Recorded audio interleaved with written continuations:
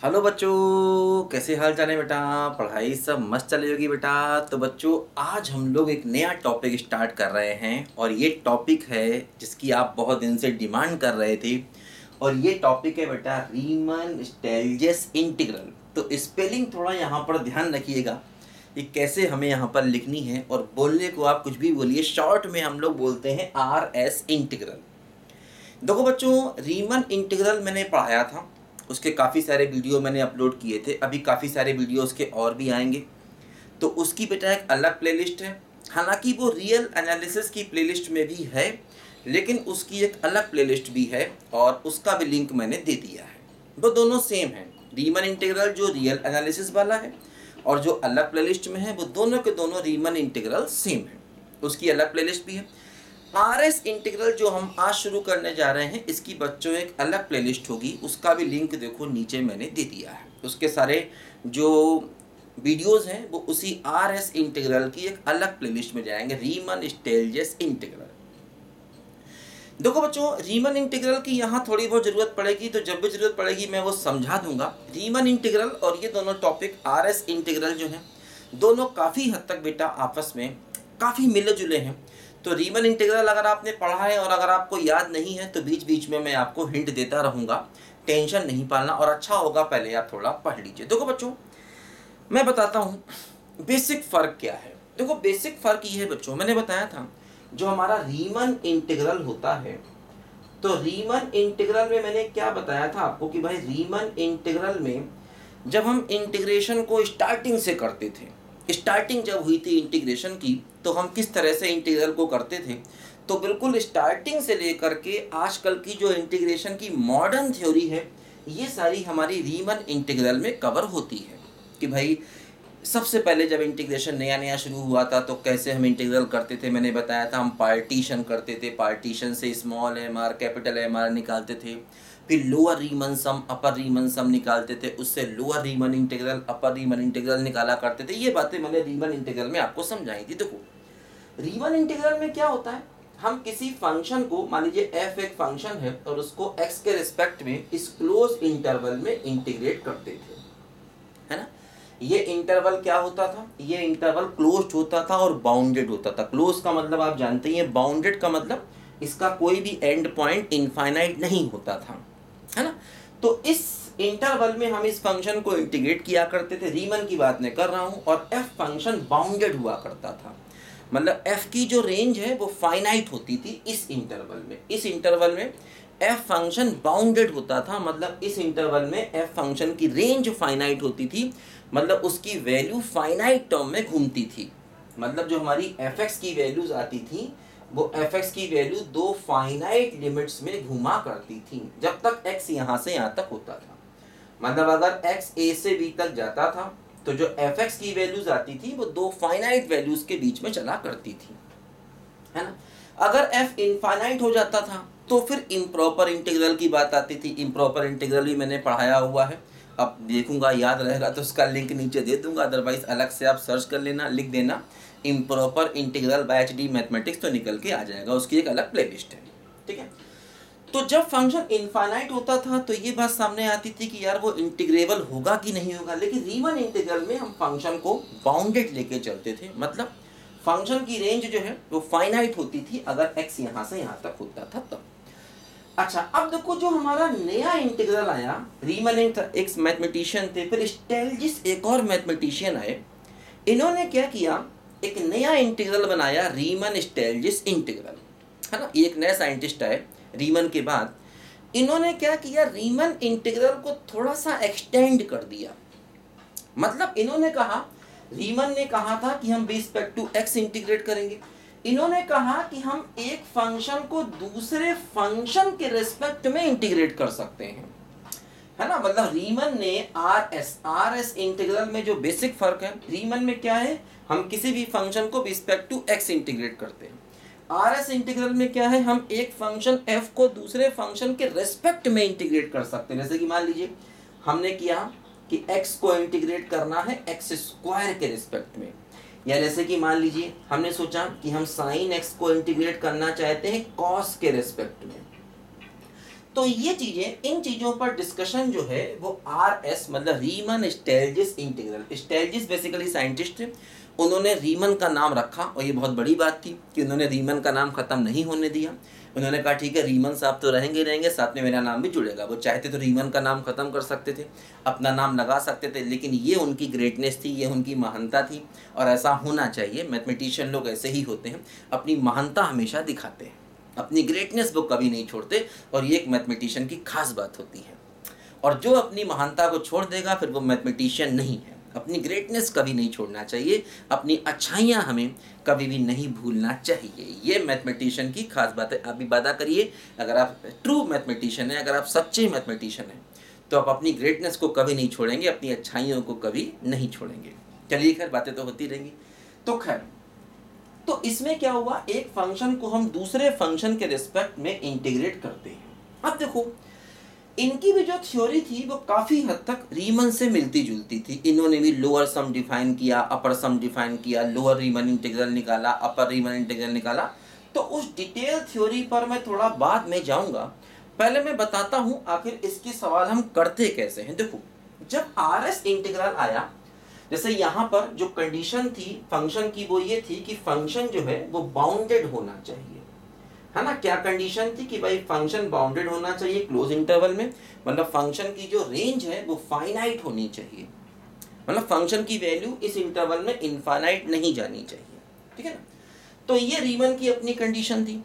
Are की जो देखो कंडीशन आई, वो इन्होंने ये कहा कि मान लीजिए एक फ़ंक्शन एफ़ है उसे हम जी के रिस्पेक्ट में इंटीग्रेट करना चाहते हैं तो उन्होंने कहा कि एफ़ और जी ये दोनों ही बाउंडेड होने चाहिए।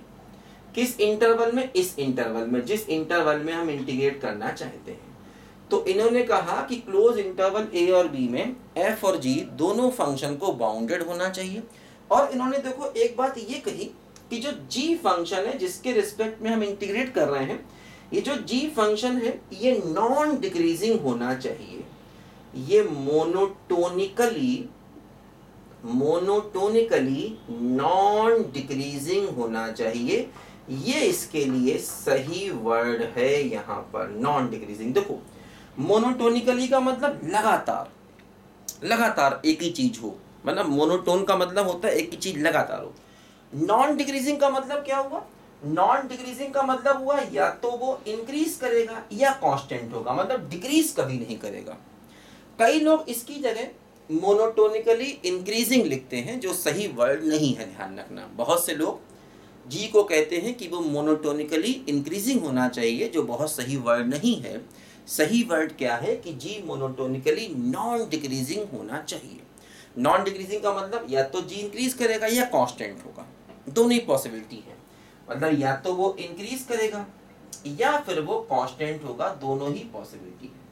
तो मतलब इन्होंने कहा कि अगर हम एक फ़ंक्शन को एफ़ को जी के रिस्पेक्ट में इंटीग्रेट करना चाहते हैं तो दो कंडीशन है कि एफ़ और जी बाउंडेड होना चाहिए मतलब दोनों की रेंज फाइनाइट होनी चाहिए इस इंटरवल में एफ़ की और जी की दोनों की। और दूसरी बात, जो जी फ़ंक्शन है, ये नॉन डिक्रीजिंग होना चाहिए। मोनोटोनिकली का मतलब ऐसा ही हो मतलब केवल नॉन डिक्रीजिंग हो, है ना? जहाँ पर भी मोनोटोनिकली वर्ड लग जाता है, इसका मतलब ऐसा ही हो। केवल और केवल नॉन डिक्रीजिंग होना चाहिए। है ना? यानी ऐसा नहीं होना चाहिए कि कुछ पार्ट में इंक्रीज कर गया फिर डिक्रीज कर गया ना। इंक्रीजिंग का नाम ही नहीं चाहिए हमको। मतलब हमें आ, क्या करना चाहिए? सॉरी डिक्रीजिंग का नाम ही नहीं चाहिए। नॉन डिक्रीजिंग का मतलब क्या हुआ? या तो इंक्रीज करे या कॉन्स्टेंट हो। मतलब हमें डिक्रीजिंग बिल्कुल नहीं चाहिए। नॉन डिक्रीजिंग डिक्रीजिंग नहीं चाहिए। या तो इंक्रीज करे या फिर वो कॉन्स्टेंट हो। ऐसा जी होना चाहिए। है ना? तो ये इन्होंने स्टार्टिंग की देखो, यहाँ पर कंडीशन दी है। कई लोग इसको, मैंने बताया, कि इंक्रीजिंग कह देते हैं इंक्रीजिंग सही वर्ड नहीं है, ज़्यादा सही वर्ड है नॉन डिक्रीजिंग यहाँ पर। इंक्रीजिंग का मतलब तो हो गया कि लगातार इंक्रीज करे, फिर कांस्टेंट ना हो।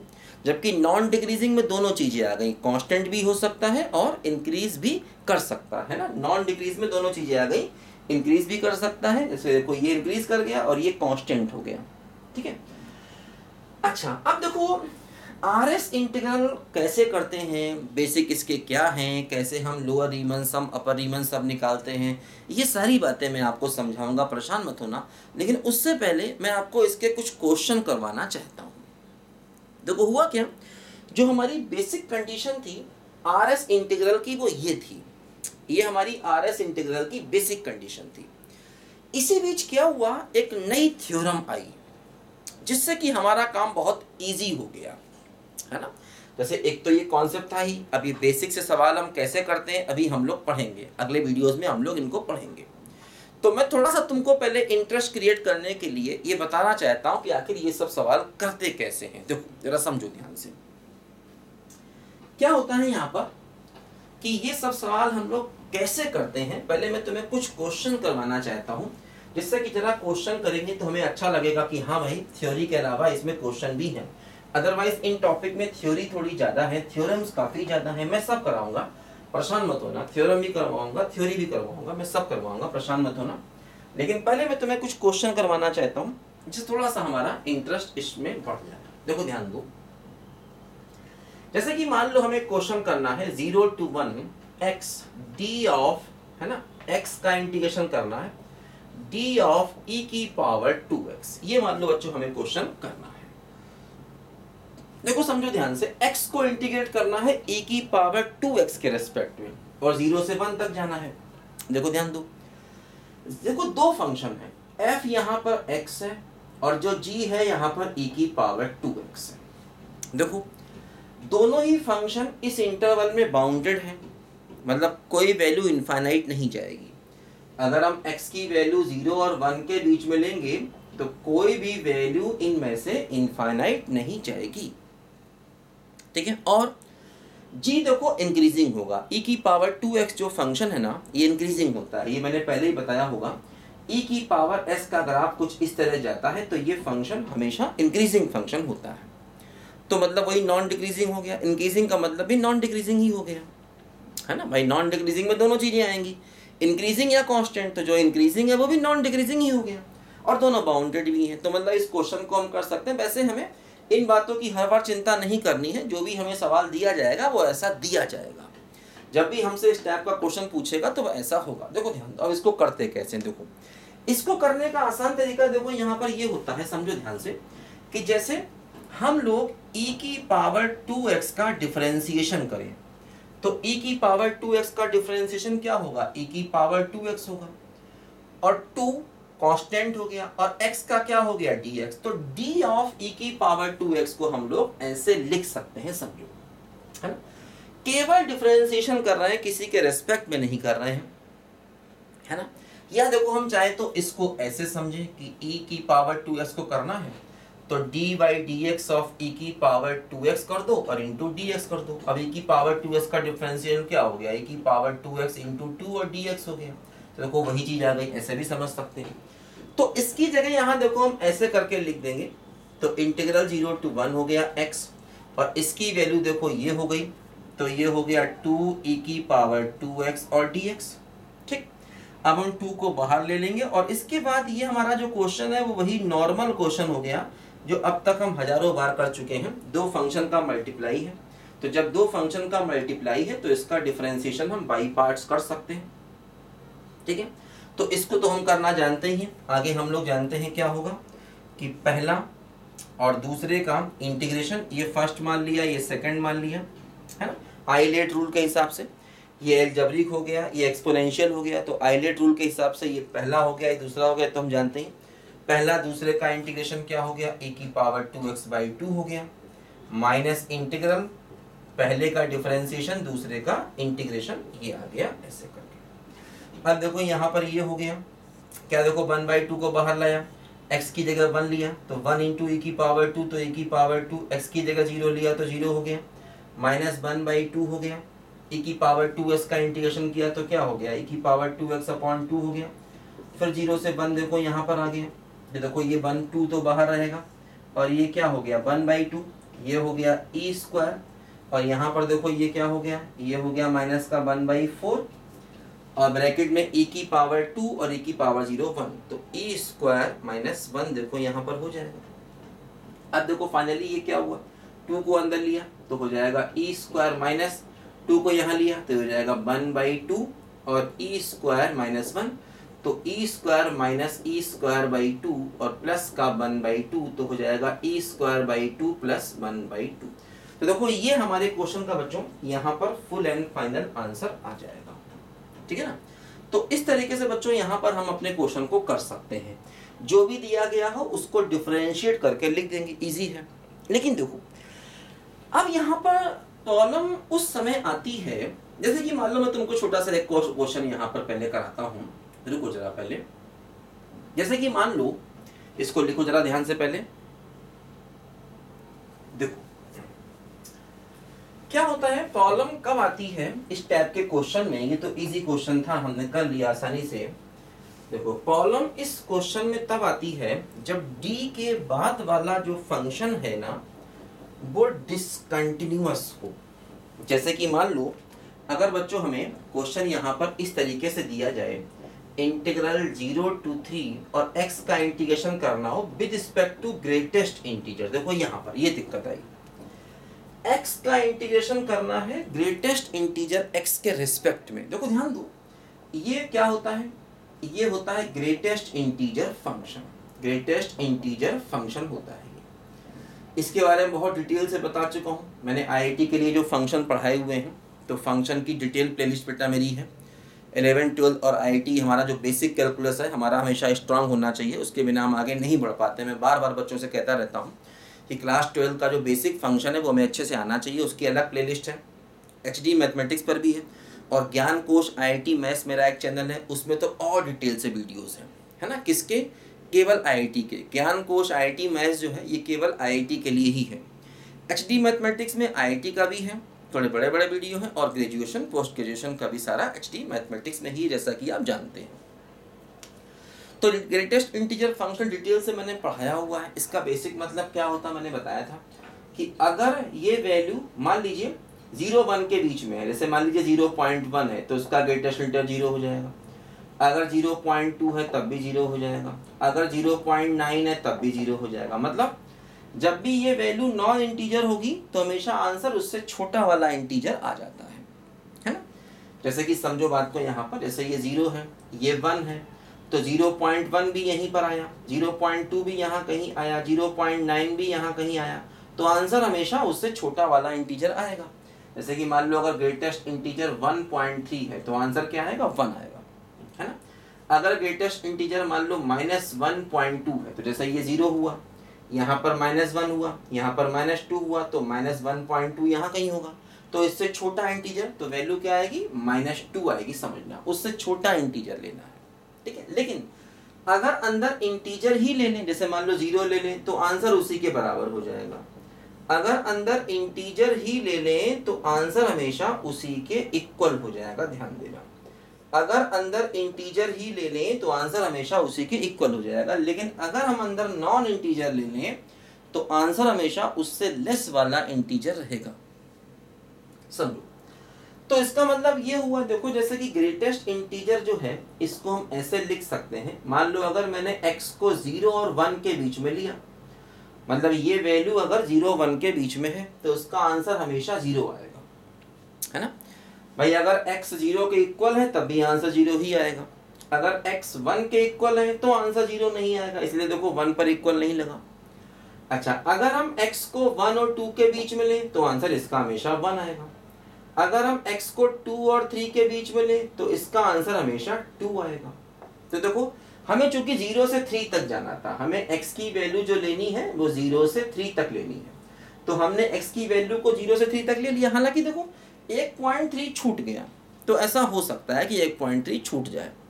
डेफिनेट इंटीग्रेशन में अगर एक आध पॉइंट छूट जाए तो कोई फ़र्क नहीं पड़ने वाला, ये बात ध्यान रखना। है ना? डेफिनेट इंटीग्रेशन में अगर एक आध पॉइंट छूट जाए तो कोई फ़र्क नहीं पड़ने वाला, ध्यान देना। तो ग्रेटेस्ट इंटीजर की वैल्यू ये है। अब देखो प्रॉब्लम ये है कि ग्रेटेस्ट इंटीजर कांस्टेंट वैल्यू ले रहा है। जैसे अगर हम ज़ीरो अगर मान लो मैं इसको तीन पार्ट में ब्रेक कर भी दूँ अगर मैं इसको ज़ीरो से वन ले लूँ तो यहाँ पर ग्रेटेस्ट इंटीजर की वैल्यू ज़ीरो हो जाएगी। अगर मैं इसको वन से टू ले लेता हूँ तो ग्रेटेस्ट इंटीजर की वैल्यू वन हो जाएगी डी ऑफ़ वन हो जाएगा। अगर मैं टू से थ्री लेता हूँ तो इसकी वैल्यू डी ऑफ़ टू हो जाएगी। तो देखो डी ऑफ़ ज़ीरो की वैल्यू भी ज़ीरो हो गई, क्योंकि ज़ीरो का डिफ्रेंसिएशन ज़ीरो। वन का डिफ्रेंसिएशन भी ज़ीरो हो गया। टू का क्योंकि ये सब कांस्टेंट है। तो अगर मैं इसको तीन पार्ट में अलग अलग ब्रेक भी कर दूँगा, तब भी सवाल निकल नहीं पाएगा, क्योंकि भाई ग्रेटेस्ट इंटीजर की वैल्यू ज़ीरो हो जाएगी।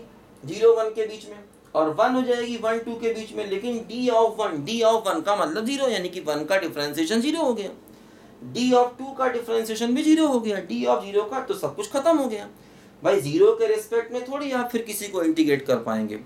तो मतलब अब ये क्वेश्चन इस तरह से डिफाइन करके नहीं हो सकता। तो इस टाइप के क्वेश्चन में दिक्कत आई जहाँ पर ये जो फ़ंक्शन था, खास तौर पे जब ये ग्रेटेस्ट इंटीजर हुआ, क्योंकि ग्रेटेस्ट इंटीजर फ़ंक्शन जो है ना, ये अपनी वैल्यू को चेंज कर देते हैं और ये वैल्यू हमेशा अपने इंटीजर ही लेते हैं।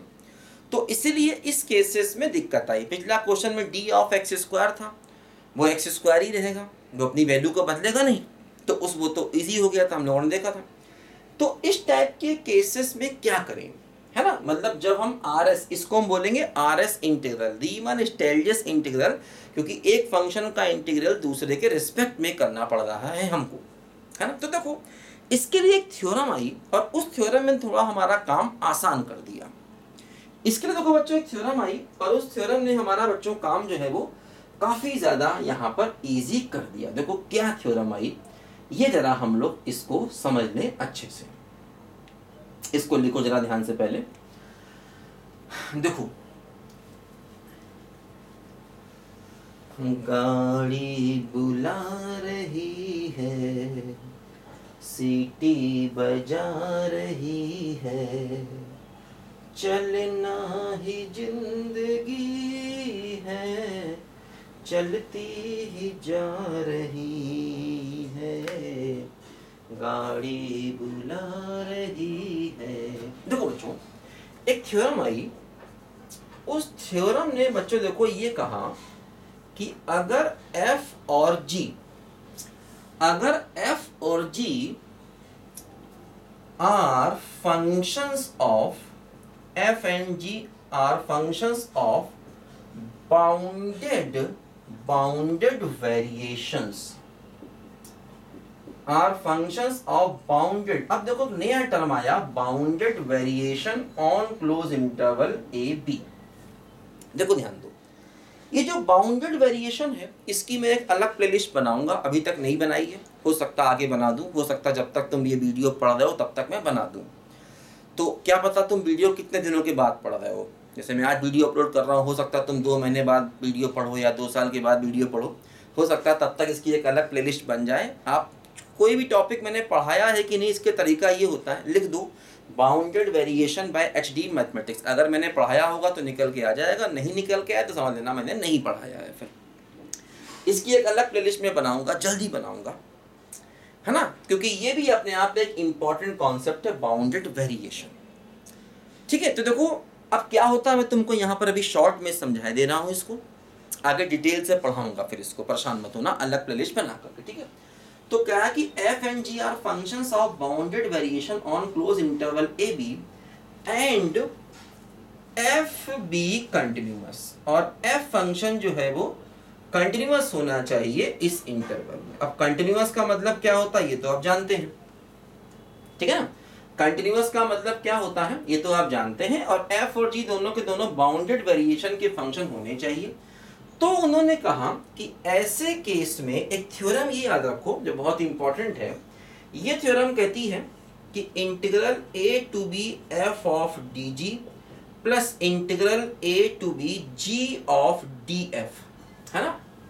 G of d f equal to equal to ये हो जाएगा f of b into g of b minus f of a into g of a ऐसा इन्होंने देखो यहाँ पर एक थ्योरम हमको ये दिया, है ना?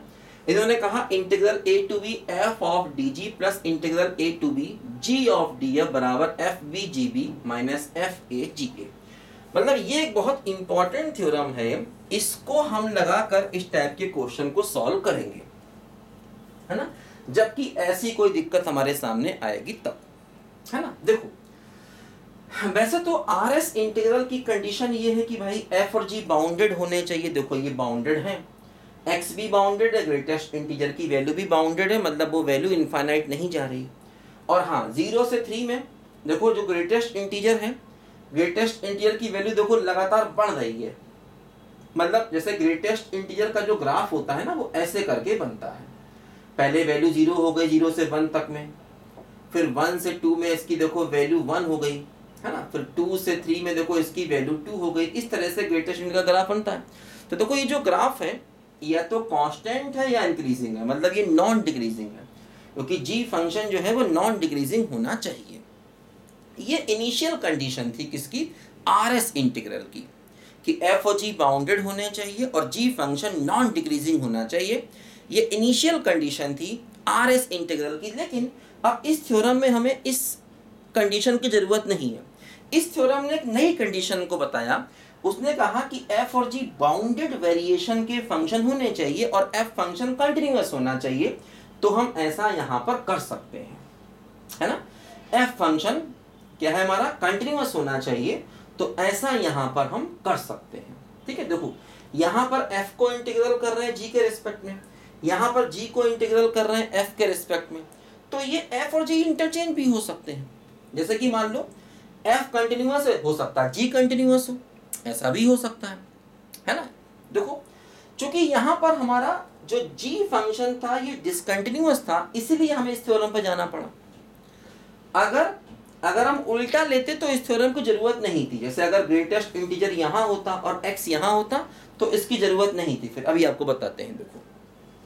है ना?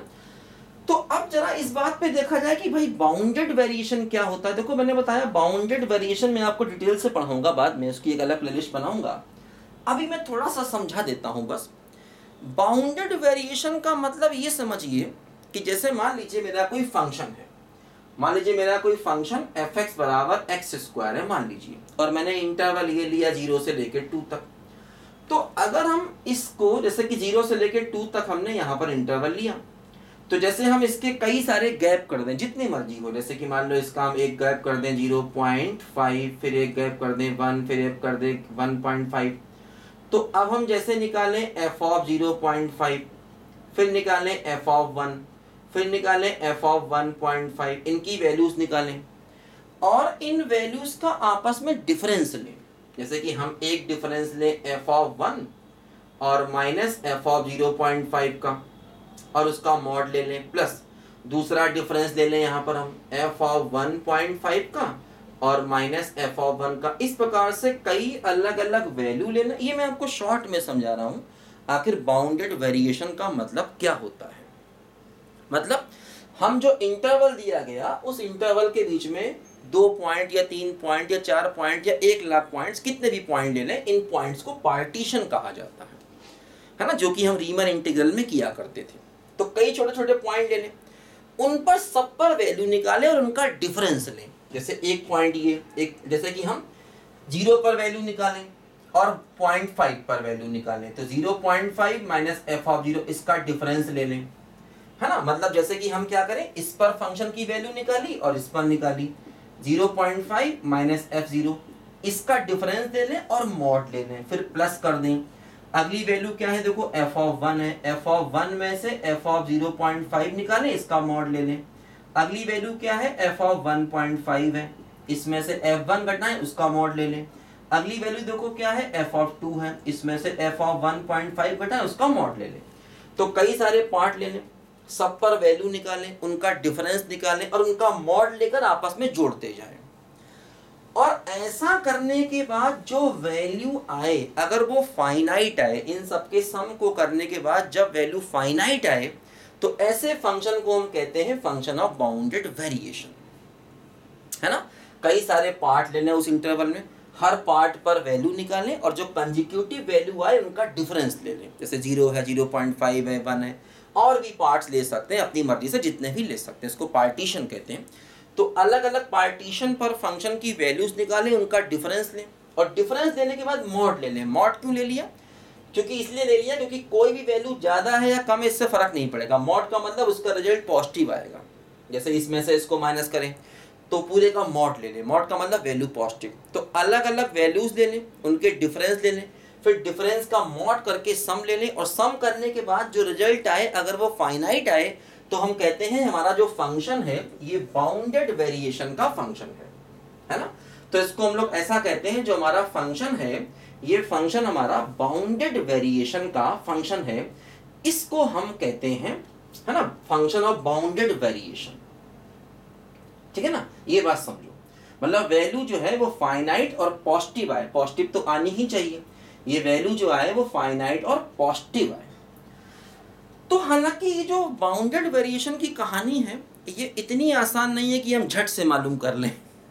ये तो मैंने थ्योरी बताई, अभी मैं आपको इसको डिटेल से पढ़ाऊँगा।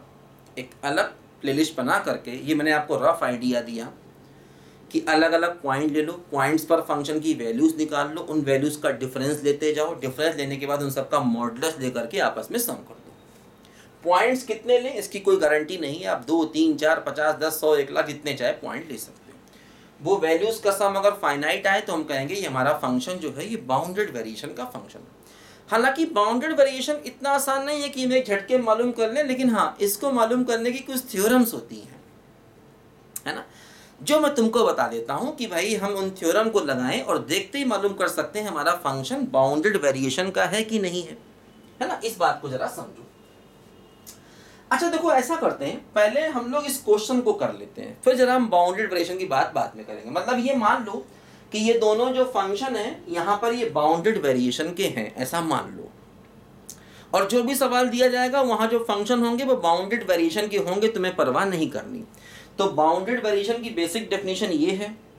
अभी मैं तुमको कुछ थ्योरम बता रहा हूँ। जिससे कि हम झट से मालूम कर सकते हैं कौन सा फ़ंक्शन बाउंडेड वेरिएशन का है, कौन सा नहीं है।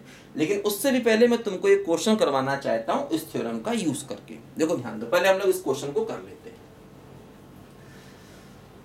ठीक है? तो हमारा जो एफ़ और जी फ़ंक्शन है, ये बाउंडेड वेरिएशन का है, ऐसा मैंने यहाँ मान लिया। ठीक है ना? ये बात समझो। और जो भी सवाल दिए जाएँगे, वो बाउंडेड वेरिएशन के आपको दिए जाएँगे। उसकी आप परवाह नहीं करेंगे। देखो ध्यान दो। अगर हम इस थ्योरम को लगाएँ तो देखो ये थ्योरम क्या कहती है? ये कहती है integral zero to three x of greatest integer d of x ये एफ़ हो गया, ये जी हो गया प्लस उल्टा कर दो। उल्टा करने का मतलब ज़ीरो टू थ्री और यहाँ ग्रेटेस्ट इंटीजर लिख दो, यहाँ डी ऑफ़ एक्स लिख दो। ये जी है जी का मतलब ग्रेटेस्ट इंटीजर है, और f का मतलब क्या हो गया? x हो गया। है ना? भाई, f क्या है? x के बराबर है, और g क्या है? ग्रेटेस्ट इंटीजर के बराबर, ये हो गया। इक्वल टू यहाँ क्या आया? F b g b f b g b का मतलब देखो ये अपर लिमिट है तो दोनों की वैल्यू रखो। तो थ्री इंटू ग्रेटेस्ट इंटीजर थी। मतलब बी पॉइंट पर फ़ंक्शन की वैल्यू और बी पॉइंट पर जी की वैल्यू को मल्टीप्लाई करो। माइनस ज़ीरो ए क्या है ज़ीरो तो ज़ीरो पॉइंट पर फ़ंक्शन की वैल्यू और ज़ीरो पॉइंट पर जी की वैल्यू को आपस में मल्टीप्लाई करो। ऐसे देखो यहाँ पर हमें ये थ्योरम को बच्चों लगा दिया। देखो ध्यान दो। अब देखो बच्चों, यहाँ पर करना क्या होगा? इसके बाद हमें चूँकि ये वैली वैल्यू चाहिए तो देखो ये रिज़ल्ट क्या आया? थ्री और ग्रेटेस्ट इंटीजर थ्री थ्री हो गया तो ये नाइन हो गया। और ये सबको ज़ीरो हो गया तो ज़ीरो हो गया। मतलब इसकी वैल्यू नाइन आ गई। हमें ये चाहिए तो जब हमें ये चाहिए है तो हम क्या करेंगे देखो यहाँ पर? इसको उधर भेज देंगे। तो ये हो जाएगा नाइन इसकी वैल्यू नाइन आ गई। तो this plus this equal to nine इसको उधर भेज दिया। तो nine minus integral zero to three greatest integer d x ऐसे आ गया, क्योंकि हमें इसकी वैल्यू चाहिए। अब देखो, इसको कैलकुलेट करना इजी है। भाई देखो, इसको अलग से कैलकुलेट किए लेते हैं किसको? ज़ीरो टू थ्री और greatest integer x d x क्यों? अब हम इसमें अलग अलग इंटरवल में वैल्यू पुट कर देंगे। जब हम ज़ीरो से वन जाएँगे ज़ीरो से वन में इसकी वैल्यू ज़ीरो हो जाएगी, ये डी एक्स ही रहेगा। और जब हम वन से टू जाएँगे तो इसकी वैल्यू वन हो जाएगी, ये डी एक्स ही रहेगा। और जब हम टू से थ्री जाएँगे तो इसकी वैल्यू टू हो जाएगी और ये डी एक्स ही रहेगा। अलग अलग इंटरवल में हमने वैल्यू को पुट कर दिया, है ना? अब देखो, इसके लिए हमें किसी थ्योरम की ज़रूरत नहीं, क्योंकि यहाँ पर डी एक्स है ना, इसीलिए, है ना? इसमें दिक्कत क्या थी? यहाँ पर d zero d one d two बन रहा था, इसलिए दिक्कत कर रहा था, ठीक है ना? देखो, अब ज़ीरो का इंटीग्रेशन ज़ीरो हो गया। क्या होगा? देखो वन का इंटीग्रेशन एक्स हो गया वन से टू टू का इंटीग्रेशन टू एक्स हो गया, टू से लेकर थ्री। अब x की जगह टू रखेंगे, माइनस वन रखेंगे, यहाँ पर देखो टू एक्स की जगह थ्री रखेंगे, टू रखेंगे। तो ये क्या हो गया? वन प्लस, और ये कितना हो गया? टू तो वैल्यू आ गई थ्री। तो ये क्या हो गया? नाइन माइनस इसकी वैल्यू थ्री। तो फाइनली इस क्वेश्चन का आंसर क्या आ गया?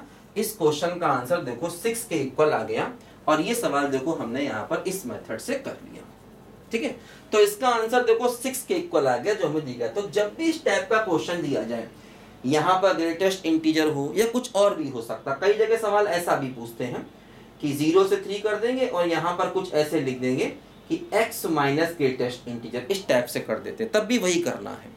भाई ग्रेटेस्ट इंटीजर आप इस थ्योरम को लगा दीजिए तो सवाल उल्टा हो जाएगा।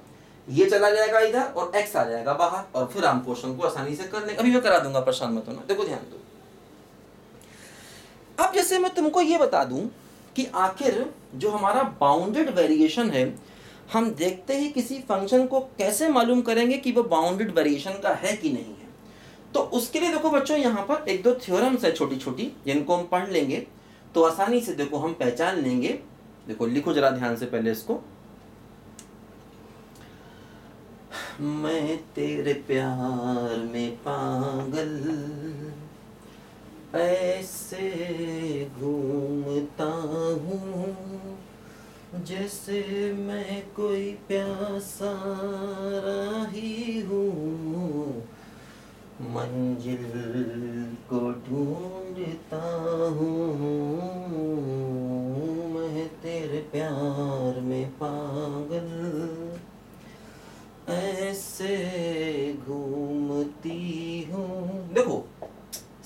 बात ध्यान रखना कि कोई भी function every bounded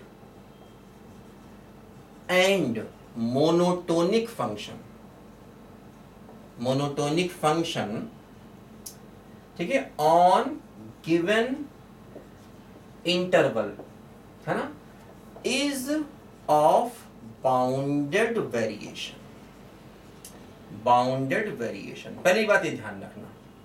मतलब ये कुछ इंपॉर्टेंट बातें हैं जो बाउंडेड वेरिएशन को चेक करने के लिए बहुत फ़ायदेमंद रहती है। मतलब कौन सा फ़ंक्शन बाउंडेड वेरिएशन का है, कौन सा नहीं? देखो, क्या कहा? कि कोई भी फ़ंक्शन जो बाउंडेड है और मोनोटोनिक है।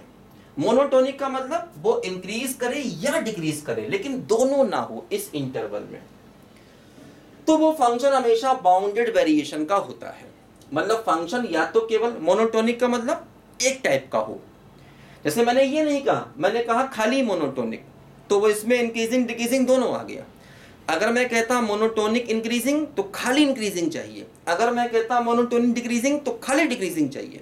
मैंने सिर्फ़ मोनोटोनिक लिखा, सिर्फ़ मोनोटोनिक का मतलब इंक्रीजिंग भी हो सकता है, लेकिन खाली इंक्रीजिंग होना चाहिए।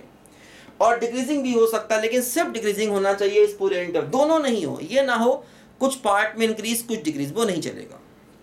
देखो, जैसे कि मान लो, मैंने एक फ़ंक्शन लिया एफ़ एक्स बराबर साइन एक्स और इंटरवल ले लिया ज़ीरो से पाई बाई टू अब देखो, ये फ़ंक्शन कैसा है? ज़ीरो से पाई बाई टू में साइन कैसा इंक्रीज करता है? ये ग्राफ होता है इंक्रीज करता है तो मोनोटोनिक हो गया, क्योंकि पूरे में इंक्रीज कर गया। और फ़ंक्शन बाउंडेड भी है। बाउंडेड का मतलब क्योंकि इसकी वैल्यूज़ इनफाइनाइट नहीं जा रही है, इस पूरे इंटरवल में इसकी वैल्यूज़ फाइनाइट ही रहेंगी। कोई भी पॉइंट ऐसा नहीं है जहाँ पर इसकी वैल्यू इनफाइनाइट हो जाए इस पूरे गैप में। तो इस पूरे गैप में फ़ंक्शन लगातार इंक्रीज कर रहा है। लगातार इंक्रीज भी कर सकता था, लगातार डिक्रीज भी कर सकता था, क्योंकि दोनों ही है है ना? तो ये फ़ंक्शन क्या हो गया? बाउंडेड वेरिएशन का हो गया। लेकिन देखो, अगर हम ये फ़ंक्शन लेते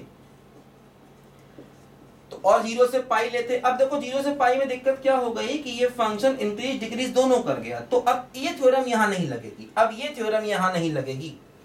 हालाँकि ये मत कहना कि ये बाउंडेड वेरिएशन नहीं होगा। भाई, ये थ्योरम लगेगी तो बाउंडेड वेरिएशन होगा। लेकिन ऐसा नहीं कि अगर ये थ्योरम नहीं लग पाए तो कह दो कि नहीं साहब, ये तो बाउंडेड वेरिएशन नहीं होगा। देखेंगे, क्या पता कोई और थ्योरम आगे लग जाए। ये लगेगी तो बाउंडेड वेरिएशन होगा, या कन्फर्म है, लेकिन अगर ये थ्योरम नहीं लगी, जैसे इसमें थ्योरम नहीं लगी क्योंकि ये फ़ंक्शन मोनोटोनिक नहीं था, ये कुछ पार्ट में इंक्रीज कर गया, कुछ में डिक्रीज कर गया। इसीलिए ये फ़ंक्शन बाउंडेड वेरिएशन होगा, ये कह नहीं सकते। कंफर्म नहीं कह सकते। लेकिन ये मत कहना कि ये नहीं होगा। तो पहली बात तो ये ध्यान रखो, अगर फ़ंक्शन बाउंडेड है और मोनोटोनिक है, किसी भी दिए गए इंटरवल में तो फ़ंक्शन हमेशा बाउंडेड वेरिएशन का होता है। ठीक है ना? ये पहली बात यहाँ पर ध्यान रखो। ठीक है? अच्छा इसके बाद देखो, दूसरी बात यहाँ पर एक और ध्यान रखो कि एक बहुत इंपॉर्टेंट बात है, इसको हम डिकम्पोजिशन थ्योरम कहते हैं। डिकम्पोजिशन थ्योरम इसको हम लोग कहते हैं। ये थ्योरम कहती है कि अगर मान लो F1 और F2 दो फ़ंक्शन आ जाएँ, है ना? मान लो F1 और F2 ये दो फ़ंक्शन हैं किसी भी इंटरवल पे। ये दो फ़ंक्शन है किसी भी इंटरवल पर। और ये दोनों फ़ंक्शन मोनोटोनिक मोनोटोनिक या ऐसा कहो कि मोनोटोनिकली नॉन डिक्रीजिंग है। ये दोनों फ़ंक्शन मोनोटोनिकली नॉन डिक्रीजिंग है। है ना? नॉन डिक्रीजिंग का मतलब या तो इंक्रीज करे या फिर कांस्टेंट हो। तो अगर हमारे पास ऐसे दो फ़ंक्शन हैं f1 और f2 ऐसे दो फ़ंक्शन हैं जो कि मोनोटोनिकली नॉन डिक्रीजिंग है, ठीक है? और f एक फ़ंक्शन है जो इनके डिफरेंस की फॉर्म में है। तो ऐसे केस में f हमेशा बाउंडेड वेरिएशन का फ़ंक्शन होगा। F, ऐसे लिखना चाहिए। F is function of bounded variation तो f जो फ़ंक्शन होगा वो हमेशा बाउंडेड वेरिएशन का होगा। एफ़ क्या है? इन दोनों फ़ंक्शन का डिफरेंस है। है ना? F1 F2 किसी इंटरवल में मोनोटोनिकली नॉन डिक्रीजिंग है। है ना? F1 F2 किसी इंटरवल में है। और किसी भी इंटरवल में दोनों फ़ंक्शन कैसे हैं? मोनोटोनिकली नॉन डिक्रीजिंग है। मतलब लगातार नॉन डिक्रीज करें, लगातार। लगातार नॉन डिक्रीज करें। मतलब या तो इंक्रीज करें या कांस्टेंट हो। है ना? डिक्रीज ना करें, डिक्रीज ना करें, या तो इंक्रीज करें या कांस्टेंट हो। तो ऐसे केस में अगर कोई फ़ंक्शन इन दोनों का डिफरेंस मैंने बनाया तो वो हमेशा बाउंडेड वेरिएशन का होगा। जैसे कि मान लो फॉर एग्ज़ाम्पल अगर मैं एक फ़ंक्शन लेता हूँ greatest integer x minus x square और इंटरवल ज़ीरो टू लेता हूँ। अब देखो, जैसे ये फ़ंक्शन जो है ग्रेटेस्ट इंटीजर तो ग्रेटेस्ट इंटीजर फ़ंक्शन कैसा होता है? देखो, ऐसे करके होता है ज़ीरो से वन और वन से टू ज़ीरो वन टू, देखो ये नॉन डिक्रीजिंग है। और एक्स स्क्वायर कैसा है? एक्स स्क्वायर का ग्राफ देखो, ऐसे करके चलता है। हमें केवल ज़ीरो से टू के बीच में देखना है, ये वाला पार्ट देखना है बस केवल। तो ये भी देखो नॉन डिक्रीजिंग है तो ये दोनों ही फ़ंक्शन नॉन डिक्रीजिंग है। और, है ना? और इनका जो डिफरेंस हो गया, वो कैसा हो गया? बाउंडेड वेरिएशन का हो गया। इनका जो डिफरेंस हो गया, ये कैसा हो गया? बाउंडेड वेरिएशन का हो गया। ठीक है ना? ये बात ध्यान दो यहाँ पर, समझे? चूँकि दोनों ही फ़ंक्शन नॉन डिक्रीजिंग है तो इसलिए इनका डिफरेंस जो है वो बाउंडेड वेरिएशन का हो जाएगा। तो एक कॉन्सेप्ट यहाँ पर ये है, किसी भी फ़ंक्शन को देखते ही हम अच्छा एक बात और ध्यान दो। जैसे कि F1 one minus f to है। हाँ अगर हम F1 प्लस एफ़ के लिए कहना चाहते हैं तो यहाँ पर F1 minus of minus F कर सकते हैं। अब यहाँ पर F1 और माइनस एफ़ टू को नॉन डिक्रीजिंग होना चाहिए। तब हम उनके प्लस को भी बाउंडेड वेरिएशन का कह पाएँगे।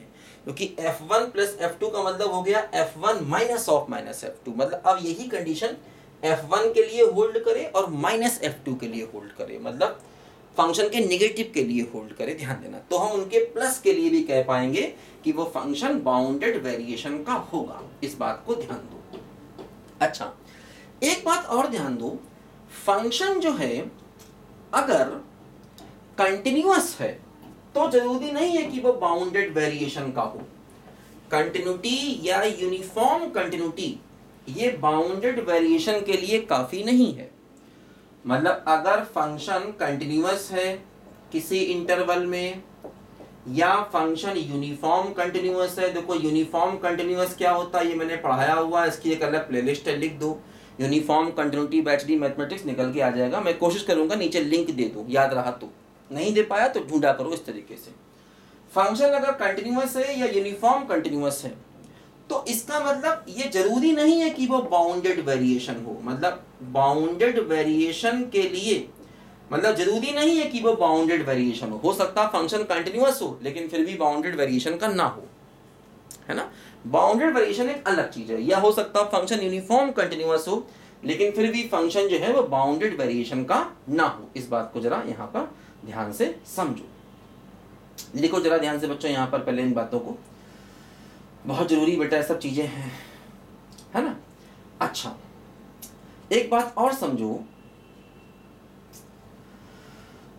अगर फ़ंक्शन जो है वो, अगर फ़ंक्शन बाउंडेड वेरिएशन का है है ना? अगर फ़ंक्शन बाउंडेड वेरिएशन का है तो बाउंडेड होगा। देखो बाउंडेड टर्म अलग है। ठीक है ना? बाउंडेड टर्म जो है, वो अलग है। और बाउंडेड वेरिएशन टर्म अलग है। भाई बाउंडेड का मतलब क्या? जैसे मैंने कहा कि मान लो मेरा फ़ंक्शन बाउंडेड है। जैसे मैंने कहा, मान लो हमारा फ़ंक्शन जो है वो बाउंडेड है। बाउंडेड टर्म अलग है। बाउंडेड का मतलब उस फ़ंक्शन की जो वैल्यूज़ हैं मतलब इस फ़ंक्शन की जो वैल्यूज़ हैं, ये फाइनाइट है उस इंटरवल में, और कुछ नहीं।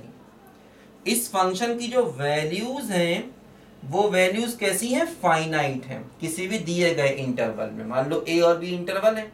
इसमें हमारा फ़ंक्शन बाउंडेड है। बाउंडेड का मतलब फ़ंक्शन की जो वैल्यूज़ है, वो कैसी है? फाइनाइट है।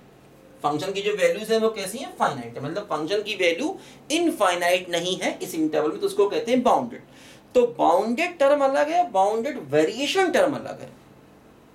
बाउंडेड का मतलब जैसे मैंने कहा साइन एक्स है। साइन एक्स की वैल्यू माइनस वन और वन के बीच में जा रही तो वो बाउंडेड हो गया। टेन की वैल्यू माइनस इन्फिनिटी से इन्फिनिटी जाती है तो वो अनबाउंडेड हो गया, है ना? किसी भी इंटरवल में। जैसे कि मान लो मैंने टेन एक्स लिया, और टेन एक्स को मैं ज़ीरो से पाई बाई टू में लू तो ज़ीरो से पाई बाई टू में टेन कहाँ पहुँच जाता है? इनफाइनाइट पहुँच जाता है। पाई बाई टू पर टेन की वैल्यू इनफाइनाइट हो गई तो टेन एक्स कैसा हो गया? अनबाउंडेड हो गया। तो अगर किसी इंटरवल में फ़ंक्शन की वैल्यू इनफाइनाइट चली गई तो वो अनबाउंडेड हो गया। और अगर फ़ंक्शन की वैल्यूज़ फाइनाइट है, किसी भी इंटरवल में तो बाउंडेड हो गया, इस बात को समझो। तो बाउंडेड टर्म अलग है और बाउंडेड वेरिएशन टर्म अलग है, इस बात को जरा ध्यान से समझो, है ना? ठीक है बाउंडेड अलग है बाउंडेड वेरिएशन अलग है। हाँ एक बात ध्यान रखना कि, एक बात ध्यान रखना कि अगर फ़ंक्शन बाउंडेड वेरिएशन का है if function is of bounded variation if function is of bounded variation on given interval अगर फ़ंक्शन बाउंडेड वेरिएशन का है, तब जो फ़ंक्शन होगा, वो कैसा होगा? बाउंडेड होगा। ये बात ध्यान देना। अगर फ़ंक्शन बाउंडेड वेरिएशन का है तो बाउंडेड होगा। लेकिन इसका उल्टा सही नहीं है। मतलब ये मत कहना कि अगर बाउंडेड है तो बाउंडेड वेरिएशन होगा ना? ऐसा नहीं है। हो सकता है फ़ंक्शन बाउंडेड हो, लेकिन बाउंडेड वेरिएशन का ना हो। लेकिन हाँ अगर फ़ंक्शन बाउंडेड वेरिएशन का है तो बाउंडेड होगा। ये कंफर्म है। अगर फ़ंक्शन बाउंडेड वेरिएशन का है तो बाउंडेड होगा, ये कंफर्म है, लेकिन इसका उल्टा नहीं कहना। ये मत कहना कि वो बाउंडेड होगा तो बाउंडेड वेरिएशन का भी होगा। इसका उल्टा ट्रू नहीं है तो इस थ्योरम का कन्वर्स ट्रू नहीं है। तो मतलब उम्मीद है कि आपको बाउंडेड वेरिएशन थोड़ा थोड़ा आ गया होगा, और जो फ़ंक्शन यहाँ दिए जाएँगे भाई, सबसे बड़ी कंडीशन तो ये है कि फ़ंक्शन अगर बाउंडेड है और मोनोटोनिक है तो बाउंडेड वेरिएशन का होगा, है ना? हाँ बाउंडेड है और मोनोटोनिक जो मैंने पहले बताया था। अगर फ़ंक्शन बाउंडेड है और मोनोटोनिक है तो बाउंडेड का होगा। अगर फ़ंक्शन बाउंडेड है और मोनोटोनिक है तो बाउंडेड वेरिएशन होगा। लेकिन खाली बाउंडेड है तो ज़रूरी नहीं कि बाउंडेड वेरिएशन का फ़ंक्शन हो। तो सबसे बड़ी कंडीशन है बाउंडेड वेरिएशन के लिए। कि भाई फ़ंक्शन अगर बाउंडेड है और मोनोटोनिक है तो बाउंडेड वेरिएशन का होगा। दूसरा मैंने बताया, दो का डिफरेंस भी अगर लिख पाए, वो दोनों डिफरेंस जो दोनों फ़ंक्शन है, वो मोनोटोनिकली है ना, होने चाहिए डिक्रीजिंग तो ऐसे केस में उनका डिफरेंस जो है, वो क्या होगा? हमेशा बाउंडेड वेरिएशन का होगा, है ना? अगर एफ़ वन एफ़ टू दो फ़ंक्शन है, और वो दोनों फ़ंक्शन मोनोटोनिकली नॉन डिक्रीजिंग है एफ़ वन एफ़ टू दो फ़ंक्शन है एफ़ वन एफ़ टू दो फ़ंक्शन है और वो दोनों फ़ंक्शन मोनोटोनिकली नॉन डिक्रीजिंग है। तो उनका डिफरेंस क्या होगा? हमेशा बाउंडेड वेरिएशन का होगा। ये बात समझो। तो बच्चों, ये उम्मीद है कि आपने बहुत सी चीज़ें यहाँ पर समझी होंगी। अभी इसके और भी वीडियोस आएँगे। बाउंडेड वेरिएशन के लिए इस टॉपिक में इतना ही काफ़ी है, हमने समझ लिया। और इससे ज़्यादा इस टॉपिक में बाउंडेड वेरिएशन की हमको ज़रूरत नहीं पड़ेगी। बाकी बाउंडेड वेरिएशन में अलग से पढ़ाऊँगा, अलग प्लेलिस्ट उसकी बनाऊँगा। हो सकता है जब तक आप पढ़ें, तब तक ये प्लेलिस्ट बन भी जाए। सर्च करके देख लेना, लिख देना bounded variation by H D mathematics अगर मैंने पढ़ाया होगा तो आ जाएगा। मैं कोशिश करूँगा जल्दी उसका एक अलग प्लेलिस्ट बना दूँ। उसकी थ्योरम को मैं अलग से करवा दूँ। ठीक है बच्चों, इस वीडियो में इतना ही। मिलेंगे अगले वीडियो में, तब तक के लिए। बाय बाय बेटा।